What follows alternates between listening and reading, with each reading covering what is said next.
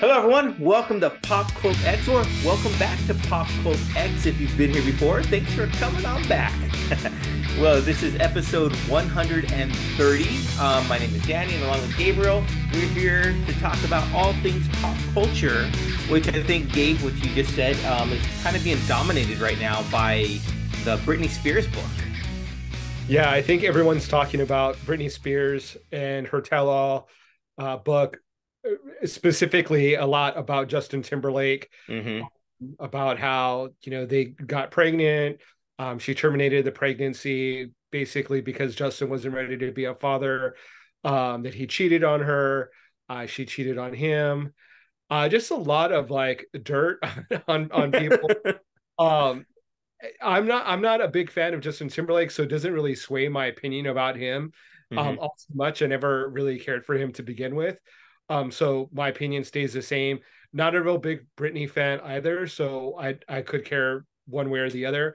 Um, but what kind of makes me think, uh, you know, what what this whole thing makes me think about is, um, do you think stars should write tell all books like that? Like, is that anyone's business that, you know, she had a pregnancy, she terminated it, they cheated on each other. I mean, this was all when they were fairly young. I think when they were like mm-hmm. 19, I mean, is that is that even entertaining to to read and to to listen to?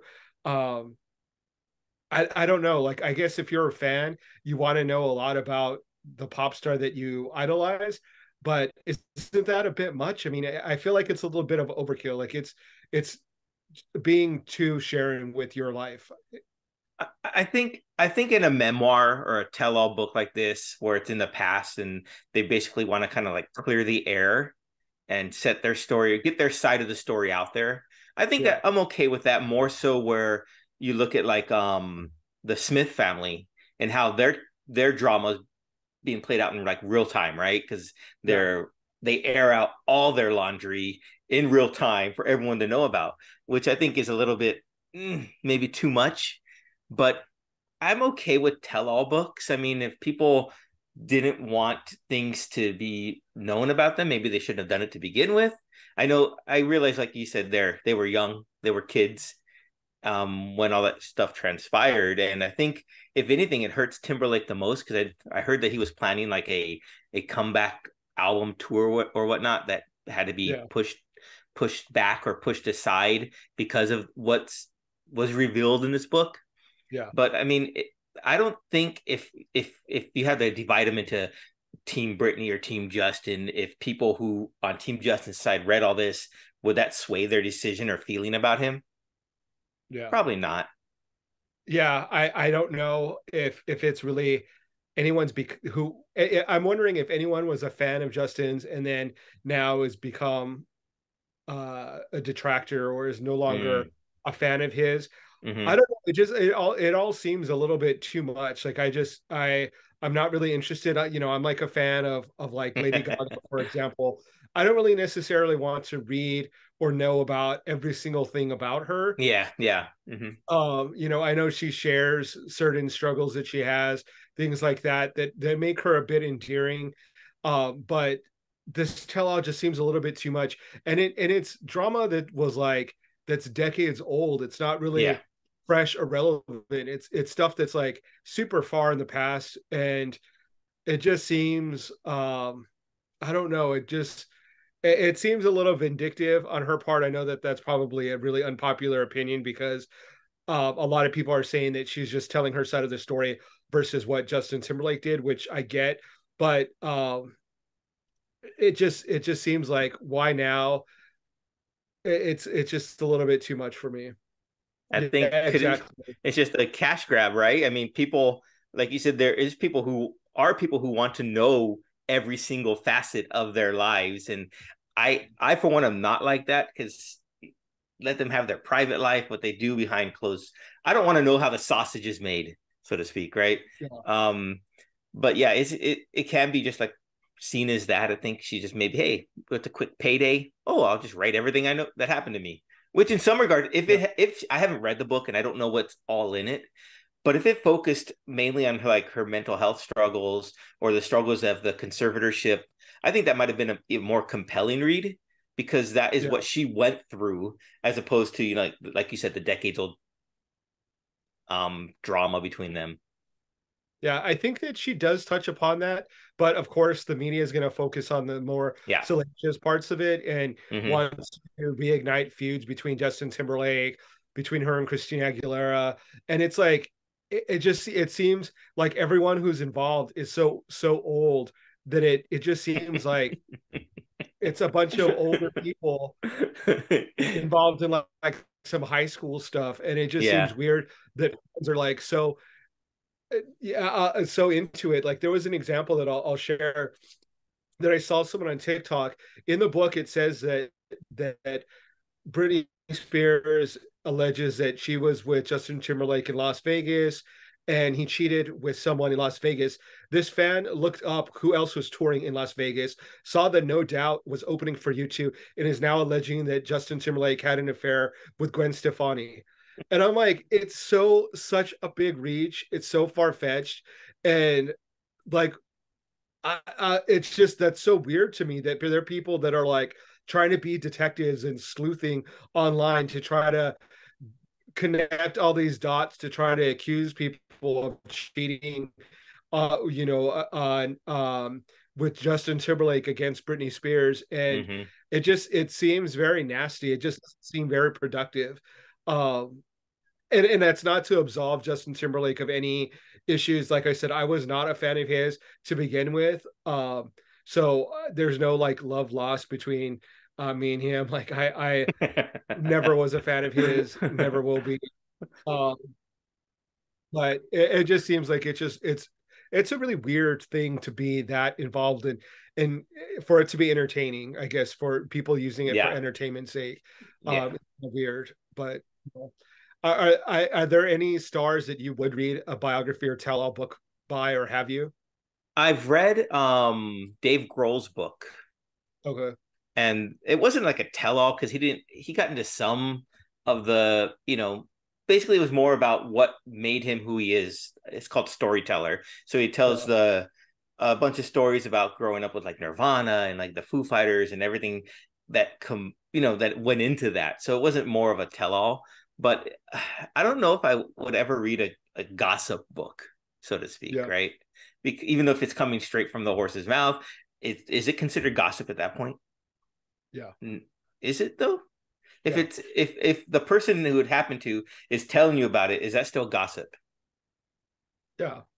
Is it okay? Well, yeah, I don't know if I'd read a gossip book. Yeah, it's just I, I don't think gossip is only when someone's talking about someone that they're not involved with because she's it's definitely gossip about Justin Timberlake, right? Because she's that's true. She's okay, alleging yeah. that he cheated on her, yeah, um, or she's alleging that you know other people did things. So um, I think that it is uh, gossip. I mean, if she strictly did what she, her, you know, talked about her own actions, what uh, first okay. person, like it wouldn't be gossip, but um, you know, she's speculating about activities that people, what other people did. So I think that that would be construed or or categorized as gossip. But uh, aside from that, um, something that was much more entertaining that I did get to was um, Killers of the Flower Moon, um, mm. the Martin Scorsese film about the Osage County um, Indians or Native Americans and the the kind of horrific uh, th- things that they had to endure. Um, mm-hmm. Specifically, one particular family uh, that the the main cast kind of um, depicts. Um, really good film, really well acted by by Robert De Niro, Leonardo DiCaprio, and um, the rest of the cast. Um, I think they did a great job of representing the Osage um, Nation um, in particular. They they I know that they consulted with him and um, they did a great job with that. The visuals are really great. Uh, this it is long. It's you know it's like three and a half hours, um, but it is quite interesting. Um, it's it's sort of you know uh, a piece of history that I think people should know about, um, and it's not necessarily the most um, fun thing to watch. I mean, because it's really kind of uncomfortable seeing some of the horrific things that happened. Mm-hmm. Uh, mm-hmm. But it is, I think, important for people to to know that that happened in history and that that that is part of American history. So, um, I would recommend it for that. Uh, but yeah. it, but it is a well done film. Cool. Yeah, I, I want to see it, and I think I think we do have to watch the uncomfortableness. I think yeah. we can't just like push that aside be- because you know it makes us feel a certain way because that is part of the history of the country. And mm-hmm. like there are the people who want to ban books because it depicts us in a negative light or whatnot. And no that's we can't just like cherry pick the historical events even though they're trying to. It's it's and how else can you learn from those past events if you don't know about them right. So cool. Exactly so i think um the one thing that really stood out to me which was kind of upsetting about the film is that the the thing that was making the most noise so to speak the what i saw on twitter or x was that about the length of the film and how some theaters were making their own intermissions which oh yeah. which was it's i mean i get it but if the filmmaker didn't make a intermission point, don't I don't think theaters should be like, oh, we're gonna stop it right here, yeah. whatnot, because that's just I it ruined. It's hard because there are people that like physically, I don't think can get through a three and a half hour movie without having to go yeah. to the restroom. So for those people, I think that it's it's hard for them to to kind of endure. So it's nice for them to break it so that those people can take like a, a restroom break.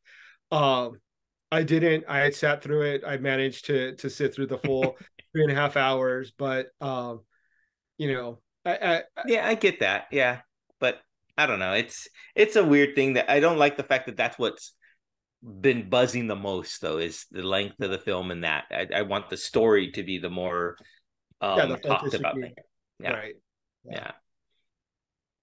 All right. Well, um, what what else is is going on with with with uh, pop culture in your neck of the woods? Uh, well, I've watched the two films you mentioned last episode, The Babysitter. I watched part one and part two, and they were fun. They were totally what you how you described them as a fun slasher film. Um, so I thought it was a lot of gore, sometimes unnecessary violence, but it was it was fun to watch. Why not? It was it's, it's still the season. We're recording on October 30th, Devil's Night. So it's it's still within the time frame and parameters for that type of movie. I thought it was really cool though in Babysitter Part 2, um, Killer Queen, they're doing a flashback to one of the one of the main bad guys. I think his name is Max, the guy who always had his shirt off for whatever reason. And um yeah in that scene is Rachel Paulson, who I interviewed a couple weeks ago. So I thought I was like, hey, I know that person. So it was really cool to see a guest of the show appear in that movie. So I thought that was really cool. That's hilarious. I didn't even know that. Yeah, it, it was it was fun surprise for me. I was like, I know that person. I just talked to them. That's cool. I also watched Scream Six. I'm not sure if you've seen that one. So I haven't seen it yet. So I saw um the killer babysitter 2 with jenna ortega and of course samara weaving's in that as well at the end. And then all of a sudden in scream 6 there's samara weaving again. I was like wow what's going on here? So oh, it's yeah she plays a little cameo. It's nothing major. It's it's pretty cool. I i enjoyed the movie. I mean it's you know the scream franchise or legacy whatever you want to call it it's it's been reinventing itself which i think is fun although it yeah. brings in the old characters and still using them and and using the the name recognition of them. So it's it's it was cool. Nice. But the main focus that I wanted to touch on in this episode, and if you'll allow me, because it, it is today, like I said, October 30th, which is the day that this film that I want to talk about is set on. And it's also episode 130. So I thought there was a little fun little correlation 130, 1030. And that is the film The Crow now we all know, well, hopefully we all know about the movie. Um, one of my favorite films uh, and soundtracks. And yeah. so yeah, I want to talk about The Crow. Let's hear all your takes on it, all your thoughts, memories, moments about it.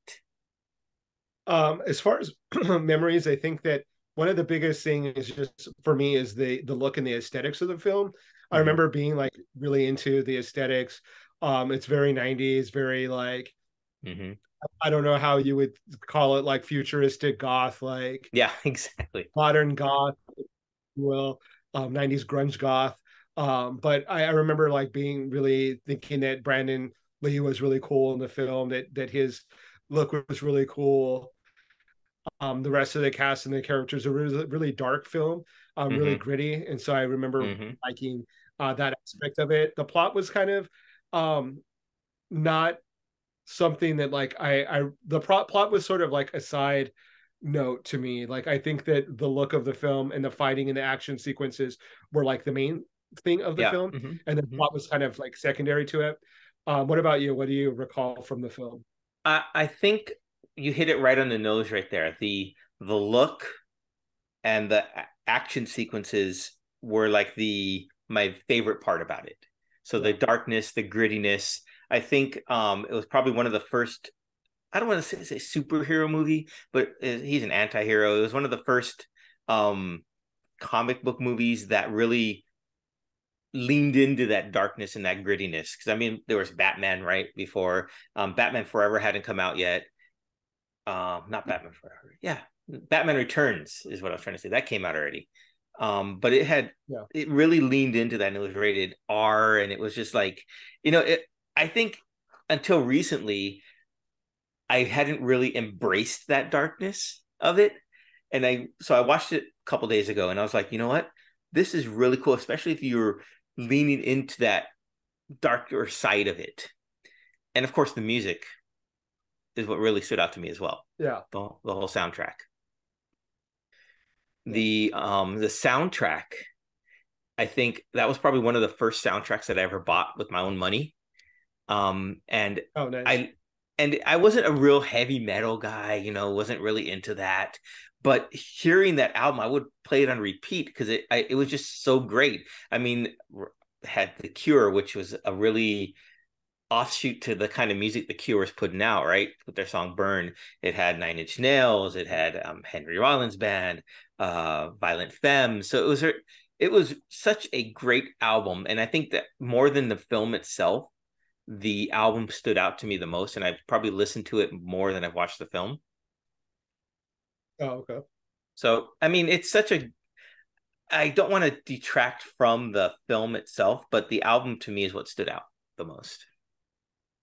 Yeah, yeah, and I think that one of the other things that that le- that really lends to the the um, I don't know the coolness or or the vibe of the film. I wouldn't necessarily say coolness because it's kind of sad, but the fact that that Brandon Lee died on on the mm-hmm. set of the film um, mm-hmm. makes it you know a little bit more intriguing or um, gives it a little bit more of a, an edge, I guess, yeah. if you will. Um, a lot of people, I think, were drawn to that because of the news and of what happened, and it made him a sort of posthumous icon. Mm-hmm. Um, he really became kind of a, a, a cool um, icon, you know, post his death. So um, I think that was something else that that is interesting about the film is that you know he didn't finish the film; that it was finished after he was was deceased and had passed. Yeah, and that is the tragedy of that absolutely is what draw i think drew in a lot of more people than it probably would have before is and of course the history of him and his father you know he's of course bruce lee's son and who also passed away at a young age before he really you know i mean he bruce lee had made a few movies before but he was also a rising star as was brandon lee I saw him before this movie. I saw him in Showdown Little Tokyo and I think Rapid Fire. Both were, you know, he he stole the show in both those films, and his his trajectory was like shooting high. And for this to happen on set because of a prop gun mishap is just so tragic. Yeah. And I remember watching, hearing about it, and then want not wanting to see the scene where it happened, but also wanting to see the scene that it happened in. And yeah, because you're it's just so compelling, so sad, and the whole, like I said, this whole story between and the resemblance of his father's life and career cut short because of a tragedy. It's just it was it was a lot, and it it really I still think about it. I mean, I know the scene that it takes place in now. At least I think I know what scene it is, and it's it's it's just so sad that it had to happen because it could have been avoided. Yeah, it's really sad, and it, it, kind of film fits with with the story of the film in a way like mm-hmm. you know the the character of the, of the crow you know dies really early on goes you know goes through that whole plot of trying to get revenge and and save his girlfriend or wife or or love interest and um you know and and it, it, that whole like sad you know uh, unfortunate series of events kind of mm-hmm.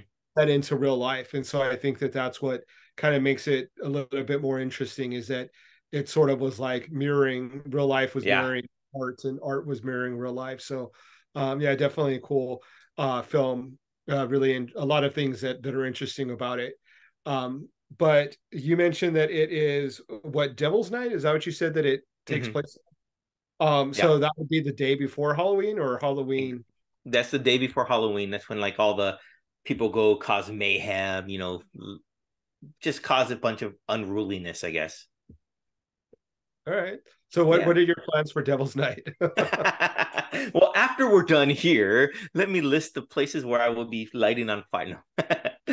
I am probably gonna go watch another scary movie. Finish one up tonight. I know um the new Exorcist Believer, I think, is out on digital. I might go oh, try and I might go try and watch that. I know you're not a big fan of it. Um there's a new one on Apple TV about a poltergeist uh, what's it called? One second. That's interesting. I might watch that.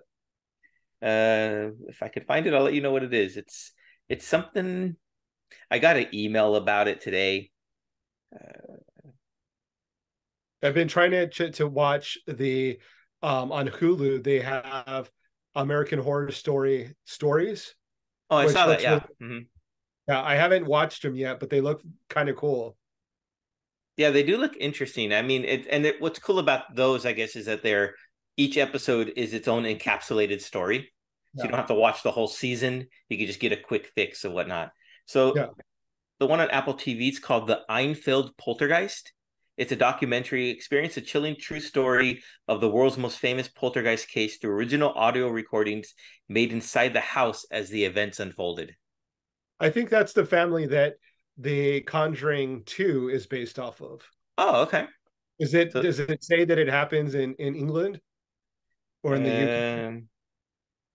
It doesn't. Let's see. Episode 1 details the Hodgson family. That's all it says. Huh. I'm pretty uh, sure that that's the one that's based that the Conjuring 2 was based on. That sounds familiar. But I'll have to check it out. Oh yeah, it says UK, so looks interesting yeah yeah i think that that's the that's the the family okay so we'll we'll watch that and then we'll report about it next episode yeah yeah yeah i think scary season is like all year round for me i don't have to watch you know stuff solely for halloween i watch scary stuff all the time so i'll continue to watch scary stuff there you go um and your shirt is a halloween shirt which is cool and going back to the crow, I remember that I wanted to dress up as the crow for Halloween, like immediately after that movie came out. I think it was in 94. So it would have been like 95, 96. I wanted to dress up as that, but I just, I did the face paint, but just couldn't pull off the, the black look with the clothes and whatnot. Yeah. But yeah, it, you, have, you have to have a certain aesthetic uh, yeah. to be, pull it off. But um, I remember that that was a very popular costume though definitely during the 90s a lot of guys mm-hmm. dressed up as that was like the precursor to like people being dressed up as like Heath Ledger's Joker um I think that that was a really popular one as well it's funny you say that because as I was watching it the other day and I was watching um Brandon Lee's performance and I was and I saw a lot of Heath Ledger in it so I was like, wow, he must have watched that and got inspired by that because a lot of the mannerisms, the facial expressions, even the makeup itself, it was really drew from Eric Draven in The Crow. So I thought that was really interesting. Yeah. Hmm. I definitely will have to go revisit the film because it's been quite some time since I've watched it. Oh, okay. Yeah. Give it a watch. It's yeah. good.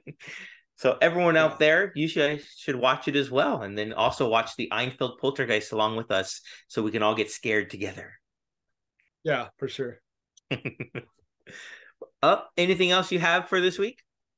No, that's all it, I've I've been watching and kind of been, you know, viewing about pop culture lately.